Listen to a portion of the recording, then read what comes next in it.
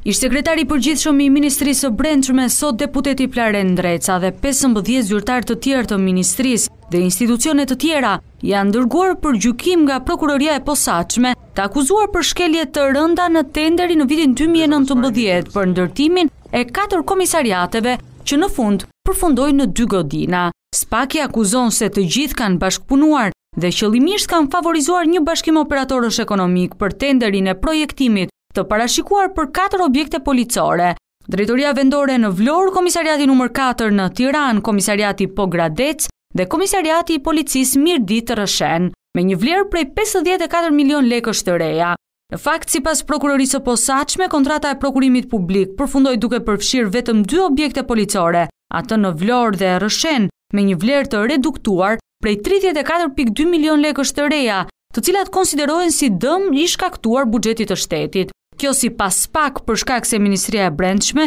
nuk e kishte të plotë fondin, por për të favorizuar fituesin, e lidhi kontratën vetëm për dy objekte, aq sa ishin fondet në dispozicion. Prokuroria thotë se Ndreca dhe grupi i zyrtarëve ia dhanë tenderin arkitektit Gjon Radovani, pronar i firmës APE-SHPK, që ishte një prej përfituesve edhe pse ky nuk i plotësonte kriteret ligjore. Prokuroria evidenton se deri në këtë moment kjo vlerë nuk është ekzekutuar, ndonëse përfituesi ka lëshuar faturat përkatëse, për shkak të kundërshtimit të Drejtorisë së Përgjithshme të Policisë së Shtetit mbi paligjshmëritë e evidentuara gjatë procesit. Kallëzimi për këtë çështje është bërë në vitin dy mijë e njëzet e një nga Kontrolli i Lartë i Shtetit.